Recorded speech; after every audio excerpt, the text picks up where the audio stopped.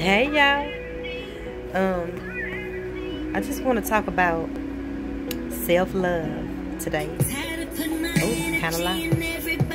I hope y'all doing okay during this uh situation that's going on in our world right now. I hope that you're doing okay. Um loving yourself. I remember when I was on such a self-destructive path and self-sabotaging, uh, over drinking. I'm talking about overdoing it. Um, just rebellious and just bitter and depressed, hope, feeling hopeless.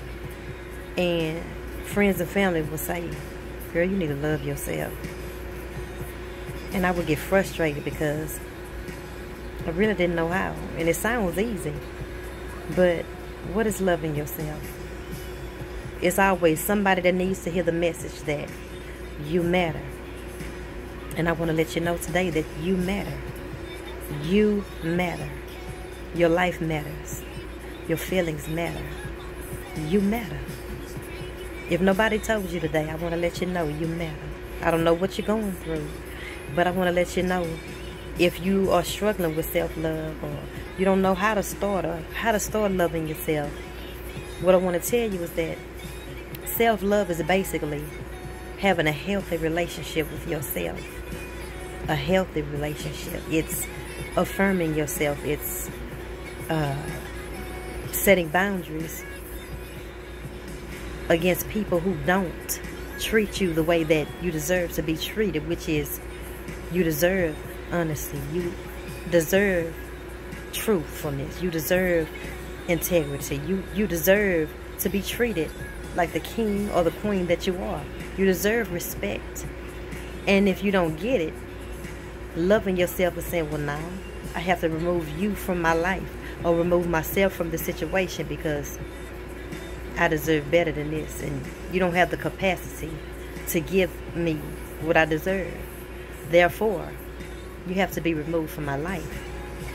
So if you find yourself settling for crumbs, taking mistreatment, you got to look at yourself and say, why? Why am I allowing this? It's, it's a possibility that you don't feel good enough. You feel like you can't get better. You feel like this is the best that you can get. But that's not true. You can have a good relationship. You can have a good job. You can step out and operate in your purpose and in your gifts. You can have those desires of your heart. And you are worthy of love. But I say, every decision that you make stems from how you see yourself. Self-love is not being perfect. Self-love is recognizing where you are and what you need from you, from God, and making those deposits into yourself to get you where you need to be. When this pandemic first started, anxiety rose up within me like the second week into it, and I found myself scared, you know what I'm saying? Not scared, but, well, yeah, scared, and I couldn't sleep because my heart was just racing as I was laying in bed, thinking about the troops and thinking about uh, the purge and over, oh, just over exaggerating. My fear was just magnifying situations that wasn't real. And I didn't feel safe. And my faith in God was tested. And I recognized, okay, I don't trust God like I thought I did. And so I started making deposits into my faith. I started making deposits into me. I started meditating more, even more. I started um, praying a lot. You know, I got off social media because the news was putting that fear in me. And so I removed myself from what was throwing me off. And I started loving me by making deposits into what I needed. That's what self-love is. It's making deposits into you. It's I make a, um, analogy in my book about your child. If your child fell and scraped their knee, if you love your child, you're going to go get the peroxide, you're going to go get the alcohol, the band-aid, Neosporin, or whatever, and you're going to nurture them back to health. And that's what loving yourself is, is being able to nurture yourself back to health. Is being able to maintain your peace by applying the tools that I put in this book. So, first have the awareness that well, have the awareness of the relationship that you have with yourself. Is it healthy? Because if your relationship with yourself ain't healthy, your relationship with others is not going to be healthy. Your, the relationship that you have with others is a mirror of your relationship with yourself. How's it a mirror? Because it's showing you what you will accept and what you won't. If you're in a situation that you're not happy in a relationship that you're not happy in, you have to say, okay, I'm in here because I choose to be here. Nobody is putting a gun up to my head and say, be in this situation, so I'm here.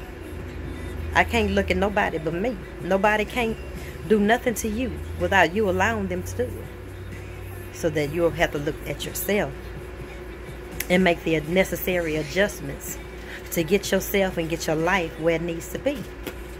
So if you sitting at home and you need some help on your self-love journey, please get my book. I talk about my depression, about having panic attacks back to back. I talk about when you're depleted and you'll take crumbs thinking you're getting a full course meal from people because you're starving like a sponge sucking up the toxic the toxicity of sucking up the crumbs that they're giving you sucking up the compliments and thinking it's something, but it's really not. Nobody can fill your cup. You got to fill your own cup. You got to be able to fill your own cup. And I start telling you how in this book. So if you need help on your journey, please get my book, Loving Me. It comes in ebook and paperback. Uh, $4.99 for the ebook, $9.99 for the paperback. And I got my song, Loving Me, to help you recognize your value. You matter you matter. And Loving Me is on Amazon, uh, iTunes, all the digital platforms for 99 cents. So, I just wanted to talk about self-love. I'll talk about uh, another tip probably tomorrow or the day after. Self-love. And holler at me if you have any questions. Be encouraged. You matter.